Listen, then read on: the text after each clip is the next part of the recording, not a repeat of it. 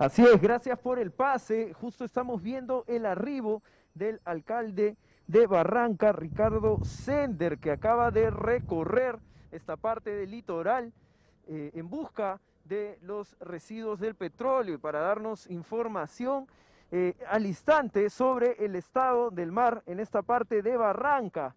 Vamos a enterarnos eh, aquí en 24 horas, mediodía, cómo está la situación aquí en el mar. Se hablaba de que eh, ya por lo menos a 120 kilómetros luego de la Pampilla ya habría llegado este, esta marea negra de petróleo. Vamos a conversar con, el alcalde para saber cuál, ha sido el resultado de esta búsqueda. Alcalde, buenas tardes. ¿Qué es lo que han encontrado aquí en el mar? Bueno, todo, todo tranquilo, gracias a Dios. No hay presencia de, hidrocarburo, de petróleo, de ninguna ave tampoco o animal que esté afectado, ¿no? Gracias a Dios.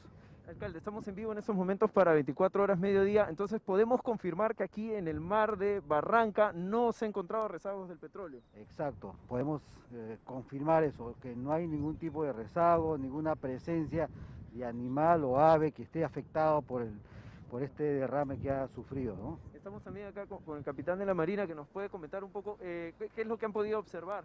Sí, ¿cómo está? Eh, bueno, de la manera articulada acá con la Municipalidad de Barranca, el alcalde Sender, hemos podido evidenciar hasta la parte sur de lo que sería la jurisdicción de la Capitanía, que no, se, no hay presencia ¿no? del hidrocarburo a raíz del derrame, ¿no? y lo que sería, tampoco tenemos presencia de animales o, fauna ¿no? Eh, silvestre que haya sido afectada. Eh, la población, hemos podido conversar con ellos hace un momento, estaban preocupadas por el tema de que por una eventual llegada del petróleo aquí a esta zona podría eh, eh, digamos, perjudicar a los negocios, a las personas que viven por aquí. ¿Se puede hablar de que no llegaría acá el petróleo? ¿Cuál, cuál es la, digamos, la visión que tienen ustedes? Bien, eh, estamos justamente en alerta en ese, sentido. Nosotros hemos coordinado ya a, nivel con la capitanía y de igual forma también eh, nosotros tenemos cuatro aspectos importantes que estamos evaluando. ¿no? Uno es el tema de que si se llegara, llegara esta marea de petróleo, esta marea negra, pues eh, ya tenemos ya eh, todos los protocolos en ese sentido. Hay, eh, en cuanto al, tema, por ejemplo, si hubiera algún animal, ave afectada, ya tenemos ya todos 77 personas ambientalistas dedicadas a ese tema. se le va a comunicar a. Exacto, para también darle tratamiento adecuado a estas aves, ¿no?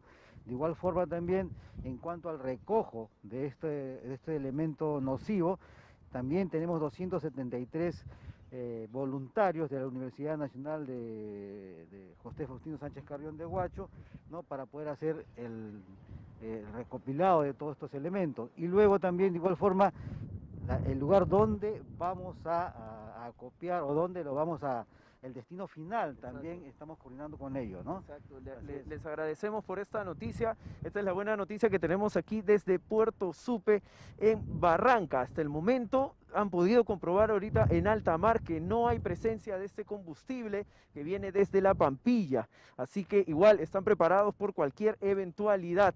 Con esta información de último minuto doy pase a estudios. Gracias Pablo por la información, una buena noticia dentro de todo, pero como lo dijo ayer el doctor Marino Moricagua, mientras más se demoren en tomar acciones, más difícil y más costoso será mitigar los daños de esta tragedia ambiental. Mientras tanto, muchos voluntarios